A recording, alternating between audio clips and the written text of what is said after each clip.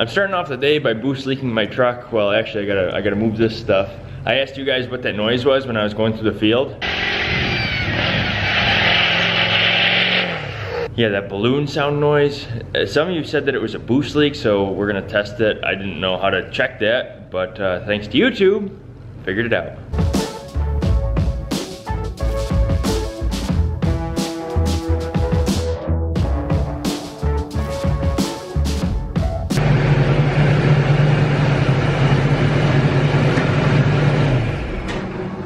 I'm realizing I need a tennis ball because I didn't I didn't make it. You know, one of those things that drops from the ceiling, so then as soon as it touches your windshield, you know, whoa, whoa, whoa. It, it doesn't matter anyways. I just need a measurement so that I can get the right part so that we can boost leak this thing.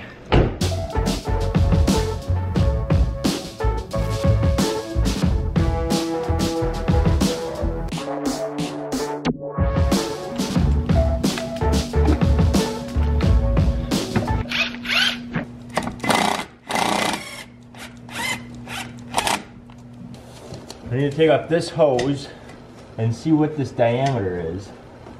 One guy said it was an inch and a half, but it looks so much bigger than that. Yeah, mine's two and a quarter. I got this stuff. I don't know what this is, but if this is two and a quarter, we're in luck.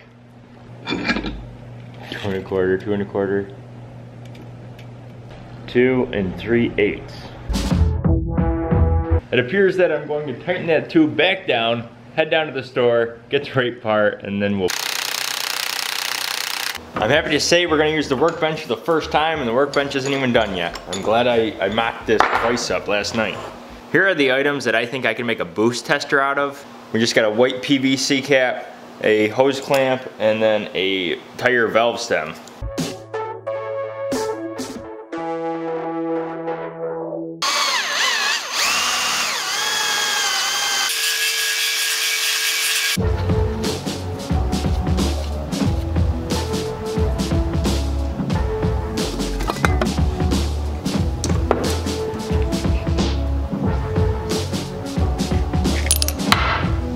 This is my final boost tester. I understand that they make and, and sell these things. I just came up with something because I didn't have time to order anything.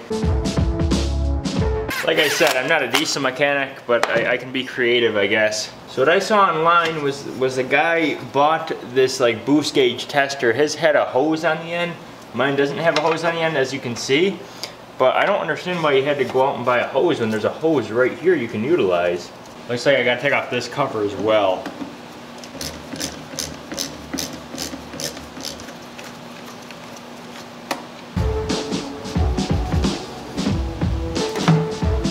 Now I should be able to take this hose right off and utilize this hose. I'm going to clean up this old hose before we use it. While I'm cleaning this hose, I just want to mention, if you like what I do here and you support what I do here, don't be afraid to go to machinemerch.com and get yourself like a new hat or a, sweatshirt. And if you can't afford to do that, go ahead and just push the like button. I would, I'd really appreciate it. So I got it about as clean as I'm going to get it. Now I'm going to go ahead and tighten my tester on.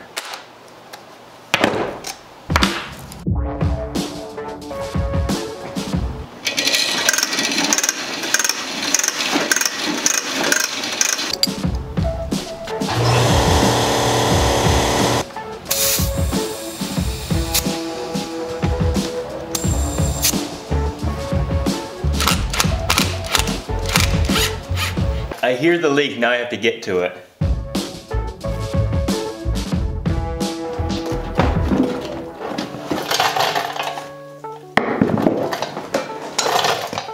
I think I found the issue. Can you see that blue hose and you see the silver tube? Well, the blue hose is only about halfway on there. So if I loosen that up, push it higher up, then we'll do another leak test. I'd be really happy if this was our culprit because this is easy to get to. All tight, test number two.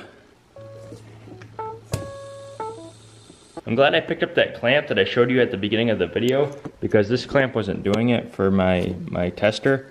So I had to remove this to use the other one. As you can see, I pressurized the system.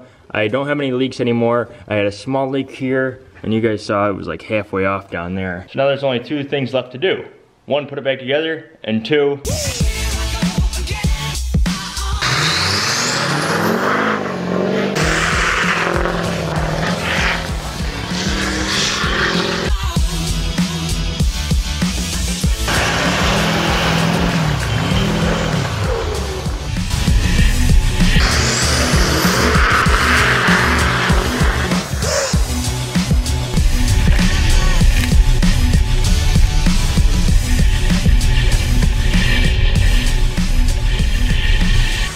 so glad I fixed this.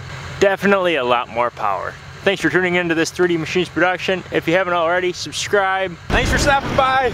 Until next time, 3D Machines out.